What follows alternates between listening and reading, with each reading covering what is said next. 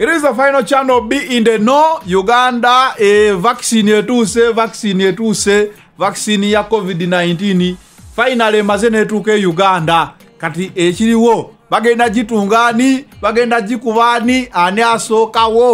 vaccine eh, netuuka kankuwa vaccine the world are able to receive the vaccine regardless of where they live. And it was with a firm belief in this principle that the UK was one of the first to back the COVAX facility because we want a global solution to this global pandemic.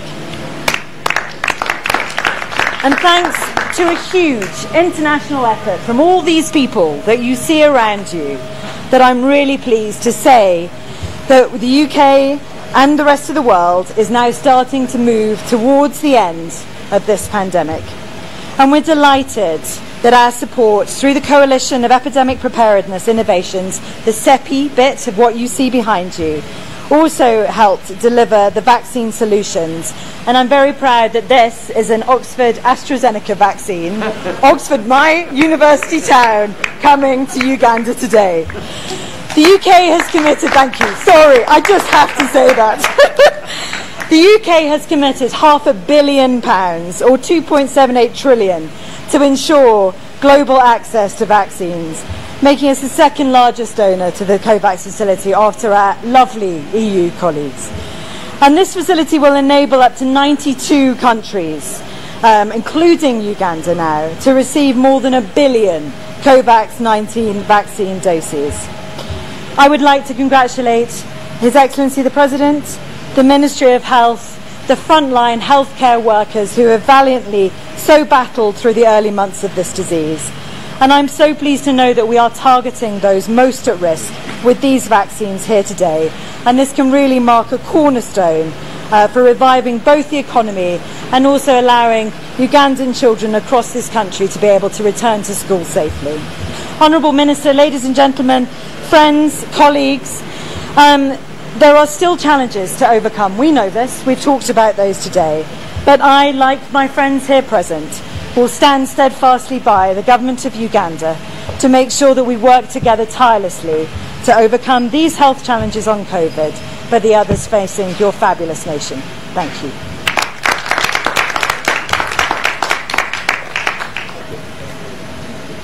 Well, I've been requested to remove my mask, and uh, I want to request the media not to take it as something bad, because you need to hear me.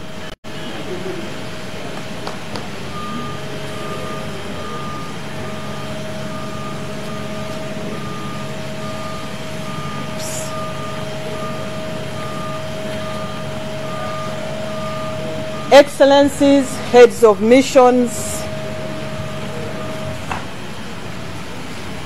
the WHO country representative, UNICEF country representative, the vaccine committee members,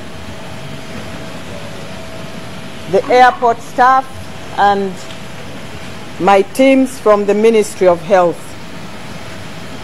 Today is a great day and a special day for us here in Uganda as we receive the first consignment of COVID 19 vaccines from the Serum Institute of India under the COVAX facility and aboard the Emirates Airlines, as we all saw. So I request all of you to appreciate God for this wonderful day.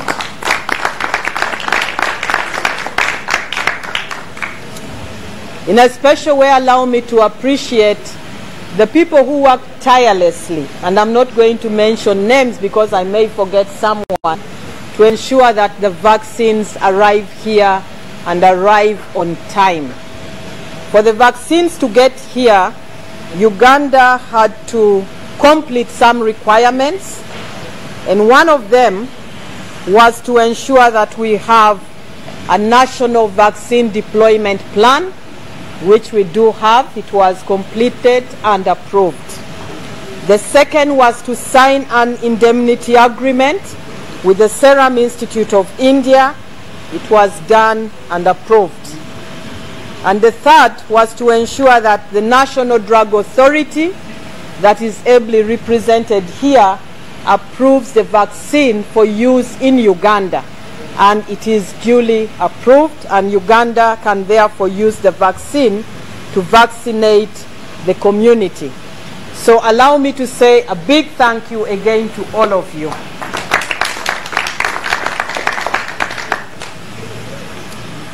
So the vaccines will be used to vaccinate persons providing essential services and who are at high risk of exposure in the line of duty. The groups will be vaccinated with the doses at hand and these groups include the health workers in public, private not-for-profit and private facilities. It also includes the security personnel, the UPDF police and prisons, and it includes the teachers in the public and private facilities. Uganda is fully prepared to launch and start utilizing the vaccines starting on the 10th of March 2021. We will use our tested strength of decentralized health services to deliver the vaccines to the target populations in record time. We have adequate cold chain capacity that has been prepared to receive the COVID vaccines at the national medical stores that is also represented here and also at the district level. The vaccines have been allocated to the districts and the national medical stores will deliver to the districts on schedule. District teams have been trained to safely administer the vaccines to the target populations. Registration of priority groups has been finalized, especially those that we have highlighted. So I expect all the districts to start vaccination of health workers following the launch on the 10th. The initial groups will be the health workers in the public health facilities, followed by those in the private not-for-profit, and then subsequently those in the private health facilities. And this will be done between the 10th to the 15th of March 2021. Thereafter, we shall have the teachers, and the exercise will begin from the 16th to the 19th of March 2021. Our official launch will take place on the 10th and not on the 8th as initially communicated. Because as many of you are aware, the 8th is International Women's Day. So our launch will take place at Mulago National Referral Hospital and you will have a few of these people here vaccinated as well. So we invite you to come and be present at the launch. This is just the beginning of our journey to vaccinate an estimated 22 million persons against COVID-19, including the refugee populations. Further information on the vaccination schedules for the rest of the population will be provided from time to time as we receive more vaccines. The government of Uganda appreciates the commitment of the global community, here represented by the excellencies, the ambassadors, the high commissioners, and the UN fraternity, for mobilizing resources that enable this unprecedented research, development, and production of vaccines in record time. We are indeed grateful for the establishment of the COVAX facility, a mechanism put in place to ensure equitable allocation and distribution of the otherwise very scarce and expensive COVID-19 vaccines free of charge to low and middle income countries at a time when the whole world is experiencing one of the worst economic hardships. Want to appreciate His Excellency the President of the Republic of Uganda, who spearheaded the COVID 19 response and also provided this very conducive environment for us to have the vaccines here on time.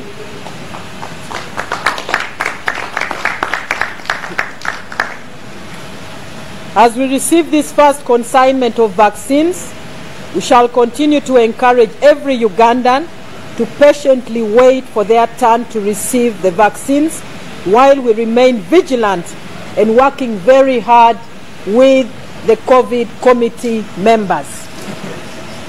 So before I take my seat, allow me to request the members of the vaccine committee to stand up for recognition.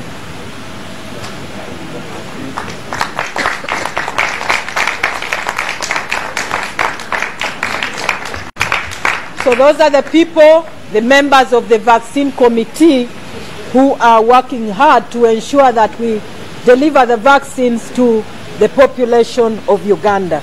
I thank you all for God and my country.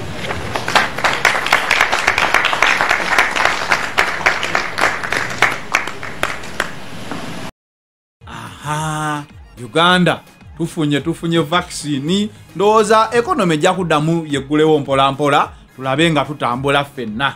Eh, sijja sukka wano olunaku olwaleero. It is the final channel. Amawo